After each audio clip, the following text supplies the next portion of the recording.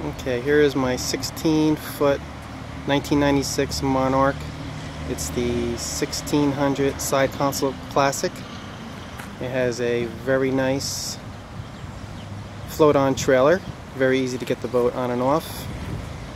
It has a swing tongue for easier storage in tight spaces.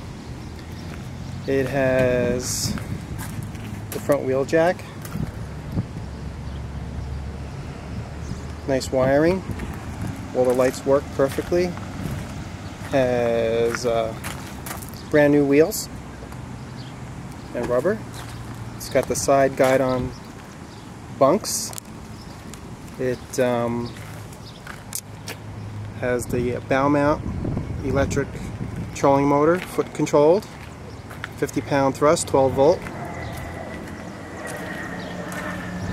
Has a Mercury Mariner 25 horse two-stroke outboard in excellent condition. You can see how clean the head is. This boat has a seven, a six, six foot two inch beam. You can easily put a kicker motor on either side of the main outboard, like a 9.9, so you can hit the valley, Spruce Run, Monksville, etc. It's got a fish finder, not the top of the line, but does does give a nice picture of the bottom and weeds. It's got the speed indicator, paddle wheel.